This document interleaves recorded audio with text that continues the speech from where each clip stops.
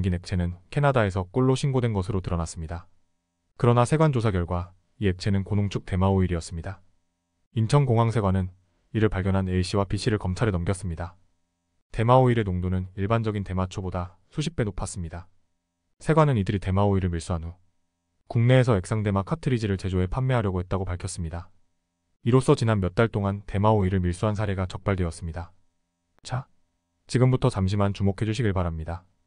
제가 유튜브 구독자분들을 위해서 특별히 준비했습니다. 제가 항상 여러분들에게 드리는 말씀이 있습니다. 이슈와 뉴스만 잘 챙겨보셔도 충분히 돈을 벌 수 있다고 말씀을 드렸는데요. 여러분들 여기 보이시는 제 채널의 영상들을 보시면 어떤 생각이 드시나요? 단지 이 뉴스 영상만 보고 아무 생각이 없으신가요? 그렇다면 아주 잘못된 것이라고 저는 생각합니다. 그 이유가 무엇이냐면 제가 지난 1월, 2월에 뭐라고 말씀드렸나요?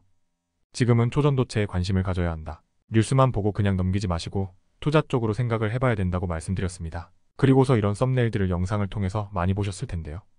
이런 초전도체 이슈가 되었을 때 부자들은 어떻게 생각할까요? 초전도체는 뭐가 있는지 어떤 종목이 가장 좋을지 어디에 투자해야 돈이 몰릴 수 있는지 자연스럽게 생각한다고 말씀드렸습니다.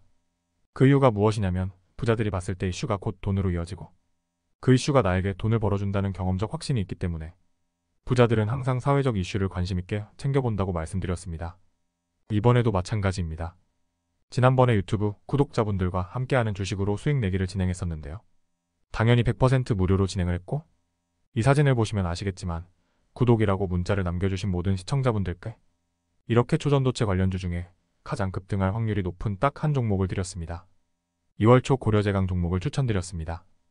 여기 나와 있는 사진을 보시면 정확히 얼마에 매수하고 어떤 종목을 사야 하는지 어느 지점에서 팔아야 하는지 이런 부분들까지 여러분들에게 정확히 알려드렸었는데 지금 실제로 많은 분들께서 수익을 보셨습니다. 오른쪽을 보시면 아시겠지만 제가 2월 초에 문자로 고려제강을 소개해드리고 나서 실제로 며칠이 지나지 않고 이렇게 주가가 1.5배 이상 급등이 나왔습니다. 그래서 당시에도 굉장히 많은 분들이 제가 드린 이 종목으로 수익을 내셨습니다. 다시 한번 축하드린다고 말씀을 드리겠고 지난번과 똑같이 구독이라는 문자를 보내주시면 이번에 이슈가 되고 있는 주식 중에 앞으로 대장주의 구실을 하면서 주가가 가장 크게 상승할 한 종목을 시청자분들에게 문자로 종목명과 사고자 하는 시점을 모두 알려드리겠습니다. 여러분들이 주식으로 돈 버는 연습을 한번 꼭 해보셨으면 합니다. 혹시라도 나는 주식을 하지 않는다 하시는 분들은 주변에 주식에 투자하는 분들에게 추천을 해주셔도 되고 아니면 연세가 있으셔서 투자가 어려우신 분들은 이 종목을 가지고 자녀분들에게 한번 사봐서 수익을 내봐라 이렇게 조언을 해주실 수 있는 거겠죠? 그래서 지금 이 영상을 보시고 계시는 시청자분들 중에 이번 종목이 좀 궁금하다 하시는 분들은 남녀노소, 시간대 상관없이 이렇게 상단에 제 번호를 항상 남겨놓고 있습니다.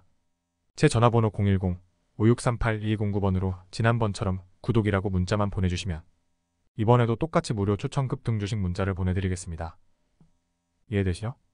그래서 제 번호 010-5638-2209번에 구독이라는 문자를 보내주시면 여러분이 직접 이슈를 통해서 돈 버는 연습을 해보실 수가 있는 거고 제가 돈을 받는 것도 아니고 투자를 대신해드린 것도 아니니까 부담 없이 신청해주시면 되는 겁니다.